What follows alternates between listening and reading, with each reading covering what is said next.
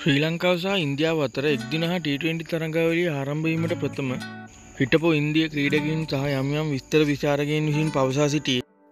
ඉන්දයානු පාසල් කණ්ඩායමකට වුවත් ශ්‍රී ලංකා වර්තමාන කණ්ඩායම් පරාජය කළ හැකි බවයි.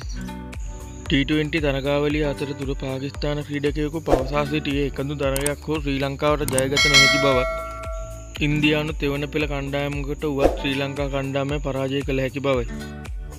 එකදු තරගයක් හෝ ශ්‍රී ලංකා කණ්ඩායම ජයගත හොත් තමා පුදුමයට පත්වන බව ඉන්දිය විස්තර විචාරකයකු පවසා සිටිය. ඉන්දිය සංජිතයට නම් කළ බොහෝ ක්‍රීඩකයන් අල්පියල ඉතා දස්කම් පෑ ක්‍රීඩකයන් වනවා. අධ්‍යකීම් මතින් මොහුන් බහුල වුණු අතර නම් ශ්‍රී ලංකා කණ්ඩායමේ අධ්‍යකින් බහුල ක්‍රීඩගෙන් සිටියේ නැහැ.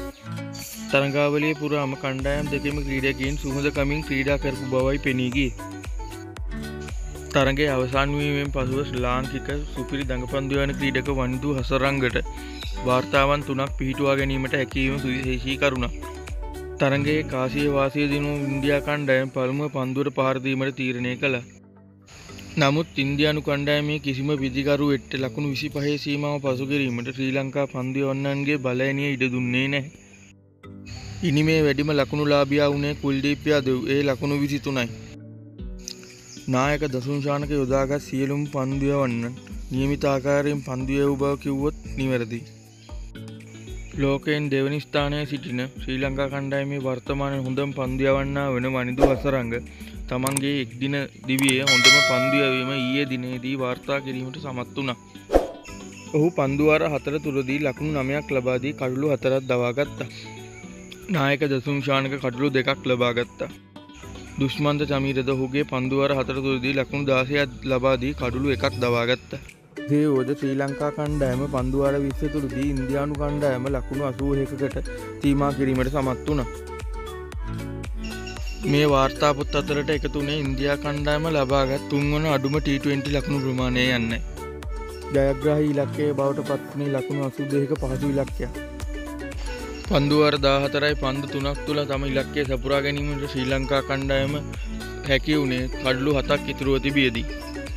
ඉන්දයාට හෙරහිව ශ්‍රී ලංකා කණ්ඩායම ට20 තරගාවලියක් ජයග්‍රහණය කළ පළමු අවස්ථාවමය.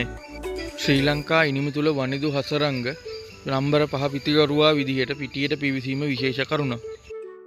වනිදු හසරංගට මෙම තරගේදී වාර්තා තුනක් සනිටුහන් කිරීමට හැකි වුණා. පළවෙනි එක තමයි ඉන්දයානු කණ්ඩායමට එරෙහිව ලොව පන්දියවන්නෙකු වාර්තා කළ හොඳම පන්දුවවීම. ඒ කඩුළු හතරට ලකුණු නමේ. දෙවන වාර්තාවන්නේ ලොව කිසිම පන්දියවන්නෙකු ඉන්දයා කණ්ඩායම හට ලකුණු දහයට අඩු ප්‍රමාණයක් පන්දුවාර හතරතුරදී ලබාදී නැහැ. තම පන්දුවාර හතරතුරදී ලකුණු නමයක් ලබා දෙමින් වනිදු හසරංග එම වාර්තාව තමන් සතු කරගත්තා. තුංගන වාර්තාව වන්නේ තම උපන්දින දවසේදී පන්දු යවන්නෙකු වාර්තා කළ හොඳම පන්දු ඇවීමයි. ඉතිං ඔයාලා තාමත් මාව සබස්ක්‍රයිබ් කරලා නැත්තම් මතක ඇතුව සබස්ක්‍රයිබ් කරන්න